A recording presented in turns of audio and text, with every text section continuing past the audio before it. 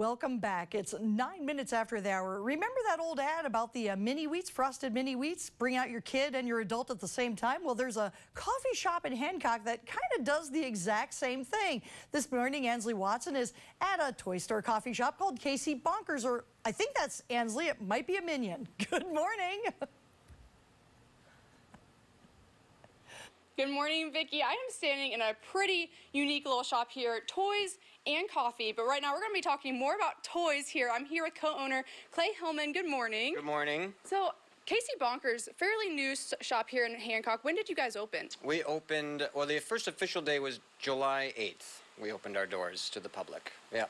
And so now you guys have a fairly unique story here. There's you know, K.C. Bonker is actually a part of the store. Talk to us what K.C. Bonker is. Who is he? Um, well, I mean, we had an idea of having like a toy store. Some friends of ours who are now our business partners, they had an idea of having like a cafe in the same store. But it wasn't until K.C. Bonker got involved that the whole thing started to really gel together. Once he, his persona, his personality, his love of toys and coffee, he thought that we should work for him and put together his, his store. There's some pretty neat toys. We got our own little yes. puppets here. I thought this one looked like me, so that's why I wanted to pick her. And she's a ballerina. And this also. one doesn't look like me at all. yeah. so we're standing in front of um, a ship here that was actually given to you by Peter Pan, right? Yes, yes, it was. K.C. Bonker actually has a lot of um, connections all over the place, and one of them being, of course, in Neverland. And so Peter Pan, who's a good friend of his, a little bit of a brat, but he did. Um, he was he was nice enough to donate this pirate ship to the to the toy store so we could display our toys on it. And I saw on the wall, you guys actually have a celebrity wall of people who've actually come and visit you. One being Barbie, my favorite. Yep. Darth yep. Vader. Who uh, else? The, the sock, sock monkey. monkey. That's right. Strawberry shortcake's been here. My Little Pony's been here. So, um, like I said, he's got he's got friends all over the place, and um, he's especially close friends with some of these celebrity toys. Now, when people can come in here, can they just play with these toys? What is it like? What can people can expect when they come in here? Um, what you can expect is to find things that you don't find anywhere else. We've got a lot of uh, toys that you probably haven't seen in 30, 40 years. But we've also got a lot of toys that you haven't seen maybe ever. Um, a lot of very educational toys, um, toys that'll help um, small children develop um, and develop a good sense of play and creativity. But but um, for the most part, you're going to find most of these toys you'll be able to pull off the shelf and try it out. Now, you're telling me that K.C. Bonker is actually friends with Willy Wonka. Yeah, rumor has it. Rumor, rumor has it. Rumor has it that they're, they, they grew up together, whereas Mr. Wonka went off to uh, chocolate school, K.C. Bonker went off to toy school. But they do have a history. Um, at least that's what I've heard. And speaking of toy schools, you guys got, kind of do something like that here, don't you? Yeah, when it comes to um, a lot of places will, like libraries and, and art centers and things will have workshops. We have what we call Toy School where you can study toyology.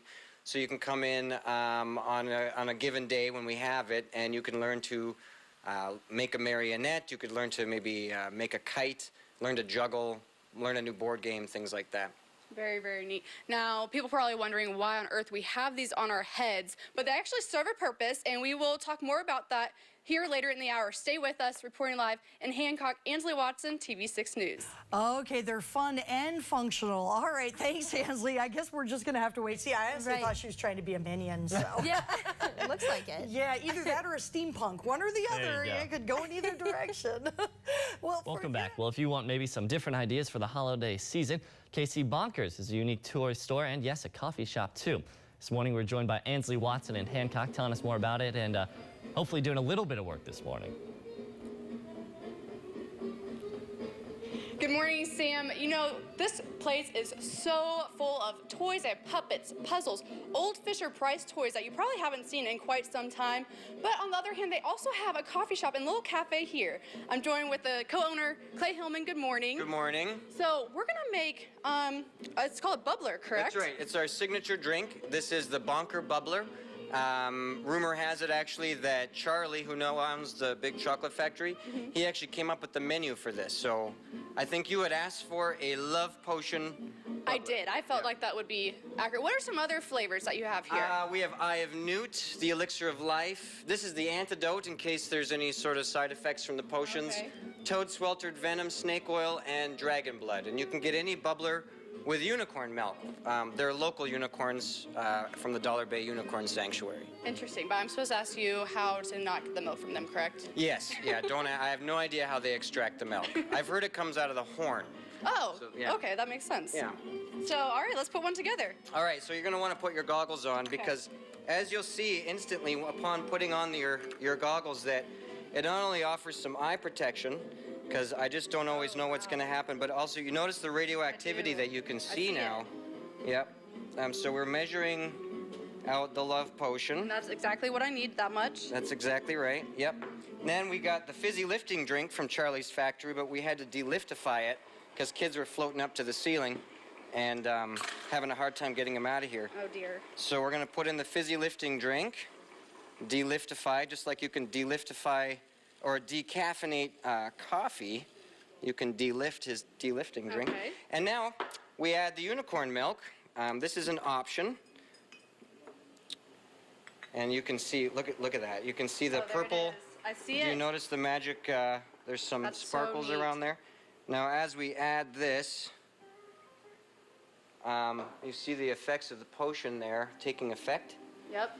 Now what we're going to do is I'm going to show you how and why we call them a bubbler. So we put the lid on, capture some of those fumes. Would you like a pink straw today? Of course. Okay. So these are one-way straws. The air only travels one direction. There's like a little monkey in there with a catch valve or something. Uh-huh. What that means is that normally when you put a straw in, the air goes up and you get your liquids. We're going to put it in upside down because what I want you to do is blow down on that straw and churn up the potion. If you don't do this, you will notice some extreme side effects. And with Love Potion, the side effects being not just a nice gentle affection towards things, but extre- extreme obsession. Good, you got a little, oh, it's still, still mixing. Now you can take a sip and tell me, oh, wait, wait, wait. Before you do that, we're gonna take the straw out. Because it's one way. It's one way, we gotta turn it back the other way. Now you can drink it and see what you think. Yummy. Yeah. So, am I gonna fall in love today? Is this what this means? That's exactly what that means, yeah. The effects should only last a few hours. I mean, you might fall in love with like puppies or people or mosquitoes, I don't know. Um, it just depends on the day and your mood. Now, if I didn't stir this up, now it could have kicked in really strong. I would have had to take the antidote, right? That's right, yeah. We carry the antidote just in case that happens. The antidote actually tastes a lot like uh, tangerines. Um, so, but yeah, usually when a big party comes in, somebody's got to get the antidote. now, what do some of the other flavors do? Like, what does dragon blood do? Dragon blood will make you nice, uh, big and powerful, strong. Um, but it, the side effect there is it might make you feel like sitting on a big pile of gold for a few thousand years and breathing fire on anyone that comes near it. How neat. And then coffee. Obviously, you guys have coffee here. have coffee. And you guys have fun things. I mean, there's something called magic coffee. We have magic coffee that is basically black coffee uh, with a tablespoon of coconut oil whipped up in the blender. And what it does is it makes it so you don't crash. That's what's so magical about it. Okay. Yeah, there's no caffeine crash from that. Well, Clay, is there anything else that you would like to say about K.C. Bonker's? Um, well, we are having a special between Thanksgiving and Christmas where you can come in once a week. We'll have a drawing for a $50 gift certificate.